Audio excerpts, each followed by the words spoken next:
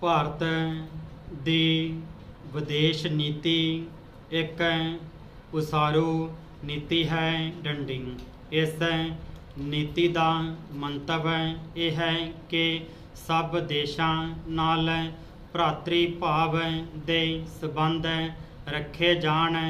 ਸਭ ਦੇ ਸਹਿਯੋਗ ਦਾ ਲਾਭ ਲਿਆ ਜਾਵੇ ਅਤੇ ਜਿੱਥੋਂ ਤੱਕ ਹੋ ਸਕਦਾ ਹੈ ਦੂਜੇ ਦੇਸ਼ਾਂ ਨੂੰ ਸਹਿਯੋਗ ਦੇ ਕੇ ਉਹਨਾਂ ਦੇ ਪ੍ਰੇਮ ਅਤੇ ਮਿਲਵਰਤਨ ਦਾ ਮੁੱਢ ਬੰਨਿਆ ਜਾਵੇ ਡੰਡਿੰਗ ਇਸ ਮੰਤਵ ਦੀ ਸਿੱਧੀ ਲਈ ਇਹ ਆਵਸ਼ਕ ਹੈ ਕਿ ਭਾਰਤ ਨਿਆਂ ਅਤੇ ਸੱਚ ਨੂੰ ਮੁੱਖ ਰੱਖੇ ਅਤੇ ਆਪ ਹਰ ਤਰ੍ਹਾਂ ਦੇ ਧੜੇ ਤੋਂ ਬਚਿਆ ਰਹੇ ਡੰਡਿੰਗ, ਇਹ ਤਾਂ ਪ੍ਰਤੱਖ ਹੈ ਕਿ ਧਰਮ ਨਾਲੋਂ ਧੜਾ ਪਿਆਰਾ ਹੁੰਦਾ ਹੈ ਡੰਡਿੰਗ। ਇਸ ਲਈ ਜੇ ਅਸੀਂ ਆਪਣਾ ਕੋਈ ਧੜਾ ਬਣਾ ਲਿਆ ਤਾਂ ਫਿਰ ਉਸ ਧੜੇ ਦੀ ਨੀਤੀ ਅਨੁਸਾਰ ਚੱਲਣਾ ਸਾਡਾ ਧਰਮ ਹੋ ਜਾਂਦਾ ਹੈ ਅਤੇ ਸਾਡੀ ਆਪਣੀ ਨੀਤੀ ਕੋਈ ਨਹੀਂ ਰਹਿ ਜਾਂਦੀ ਡੰਡਿੰਗ।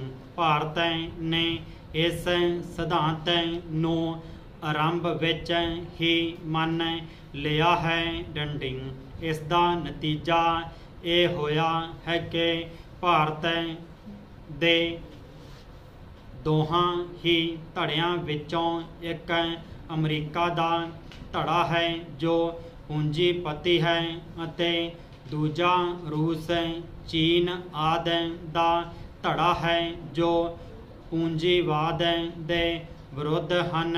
ਡੰਡਿੰਗ ਭਾਰਤ ਨੇ ਆਪਣੇ ਆਪ ਨੂੰ ਕਿਸੇ ਵੀ ਨਾਲ ਸ਼ਾਮਿਲ ਨਹੀਂ ਕੀਤਾ।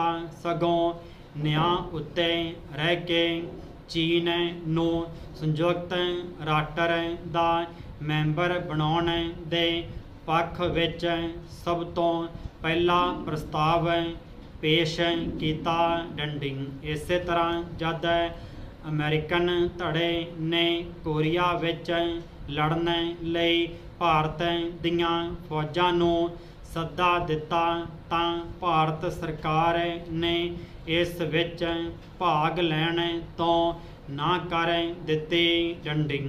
ਭਾਰਤ ਦਾ ਇਹ ਵਤੀਰਾ ਕਿ ਉਹ ਸਭ ਨਾਲ ਮਿੱਤਰਤਾ ਅਤੇ ਨਿਰਪੱਖਤਾ ਨਾਲ ਵਿਚਰਨਾ ਚਾਹੁੰਦਾ ਹੈ।